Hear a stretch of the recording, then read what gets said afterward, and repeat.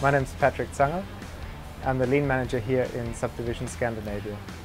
This is uh, a robot from Boston Dynamics. It's commonly known as Spot, but here in Strabag uh, we've named this one Zoe, so it's, it's a girl. The fact that this is a, a construction site means that we have an ever-changing site and usually are dependent on stairs. So the fact that this robot can actually walk up and down stairs autonomously is really, really valuable for us. We can mount different types of payloads on her back.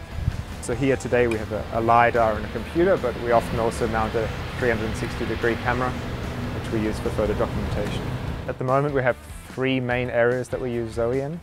So currently we need to physically go to each room with a 360 degree camera and document every single room in these huge projects, which takes about a day to do.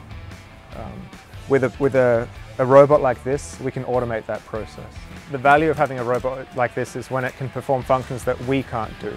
One of those is safety. So if, if there's some dangerous environment that we maybe don't want to go in ourselves, we can send the robot in first to assess the situation. We hope to make the construction site a safer place by using Zoe to go and analyze the site and recognize objects such as fire extinguishers, health and safety equipment, or even dangerous uh, situations and report those back to us. By running autonomously, let's say on a weekend or after hours, and using image recognition to recognize objects along her path. This can be achieved while we're not on site and, have, and a report can be generated ready for us.